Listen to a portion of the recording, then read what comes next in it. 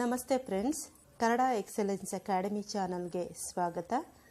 ಈ ವಿಡಿಯೋದಲ್ಲಿ ಡ ಅಕ್ಷರ ಕಾಗುಣಿತ ಮತ್ತು ಕಾಗುಣಿತ ಪದಗಳು ನೋಡೋಣ.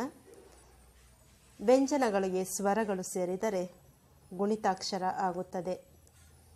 ಅಂದರೆ ವ್ಯಂಜನಗಳನ್ನು ಸ್ವರಗಳ ಸಹಾಯದಿಂದ ಉಚ್ಚಾರ ಮಾಡಲಾಗುತ್ತದೆ. ಮೊದಲಿಗೆ ಡಾಗೆ ಆ ಸ್ವರ ಸೇರಿ ಡ ತಲಗಟ್ಟು ಡ ಆಗುತ್ತೆ ಗುಣಿತಾಕ್ಷರ ಪದ. ಡಬರಿ. ಡಬರಿ ಅಂದರೆ ಇಂಗ್ಲೀಷಲ್ಲಿ ಬಿಗ್ ಬೌಲ್ ಅಂತ.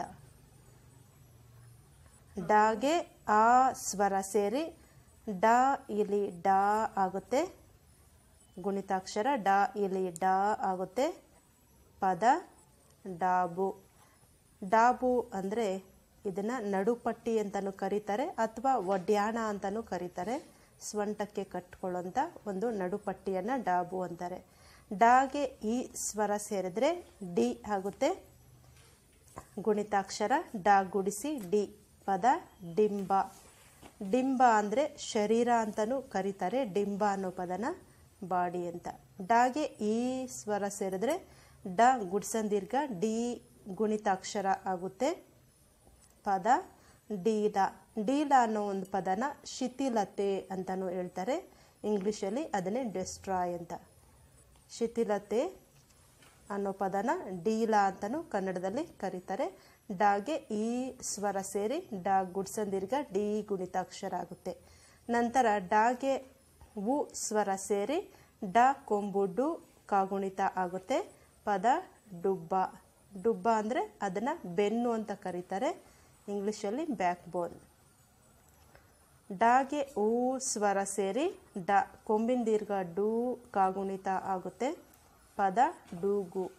ಡೂಗು ಅಂದರೆ ಕನ್ನಡದಲ್ಲಿ ಬಾಗು ಅಂತಲೂ ಆಗುತ್ತೆ. ಪದದ ಅರ್ಥ ಇಂಗ್ಲೀಷಲ್ಲಿ ಬೆಂಡ್ ಅಂತ.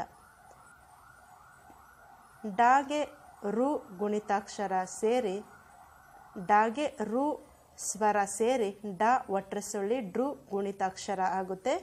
ಪದ ಡೆಂಕೆ. ಡೆಂಕೆ ಅನ್ನೋ ಪದನ ಕನ್ನಡದಲ್ಲಿ ಡಕ್ಕೆ ಅಂತಲೂ ಕರೀತಾರೆ. ಅದನ್ನು ಇಂಗ್ಲೀಷಲ್ಲಿ ಡ್ರಮ್ ಅಂತಾರೆ. ನಂತರ ಡಾಗೆ ಎ ಸ್ವರ ಸೇರಿ ಡಾ ಎತ್ವಂದೀರ್ಘ ಡೇ ಗುಣಿತಾಕ್ಷರ ಆಗುತ್ತೆ. ಪದ ಡೇಗೆ. ಡೇಗೆ ಅಂದರೆ ಗಿಡುಗ ಅಂತಲೂ ಹೇಳ್ತಾರೆ ಇಂಗ್ಲೀಷಲ್ಲಿ ಈಗಲ್. ನಂತರ ಡಾಗೆ ಐ ಸ್ವರ ಸೇರಿ ಡ ಐತ್ವ ಡೈ ಕಾಗುಣಿತ ಆಗುತ್ತೆ. ಡಾಗೆ ಐ ಸ್ವರಾಕ್ಷರ ಸೇರಿ ಡ ಐತ್ವಾ ಡೈ ಕಾಗುಣಿತ ಆಗುತ್ತೆ. ನಂತರ ಡಾಗೆ ಓ ಸ್ವರ ಸೇರಿ ಡ ಓತ್ವಾ ಡೊ ಕಾಗುಣಿತ ಆಗುತ್ತೆ. ಪದ ಡೊಂಕು. ಡೊಂಕು ಅನ್ನೋ ಪದನ ವಕ್ರ ಅಂತಲೂ ಹೇಳ್ಬೋದು.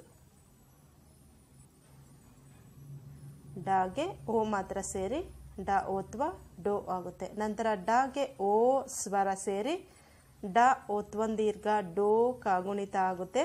ಪದ ಡೋಲಿ. ಡೋಲಿ ಅನ್ನೋ ಪದನ ಪಲ್ಲಕ್ಕಿ ಅಂತಲೂ ಕರೀತಾರೆ. ಇಂಗ್ಲೀಷಲ್ಲಿ ಚಾರಿಯಟ್. ಡಾಗೆ ಔ ಸೇರಿ ಡ ಔತ್ವ ಡೌ ಕಾಗುಣಿತ ಆಗುತ್ತೆ. ಪದ ಡೌಲು. ಡೌಲು ಅನ್ನೋ ಪದನ ಆಡಂಬರ ಅಂತಲೂ ಸಹ ಕರೀತಾರೆ. ಇಂಗ್ಲೀಷಲ್ಲಿ ಪ್ರೌಡ್ ಅಂತಾರೆ. ಡೌಲು ಅನ್ನೋ ಪದನ ಪ್ರೌಡ್. ಡಾಗೆ ಒಂದು ಸೊನ್ನೆ ಕೊಟ್ಟರೆ ಡಮ್ ಡಾಗೆ ಎರಡು ಸೊನ್ನೆ ಕೊಟ್ಟರೆ ಡಹ. ಇದಿಷ್ಟು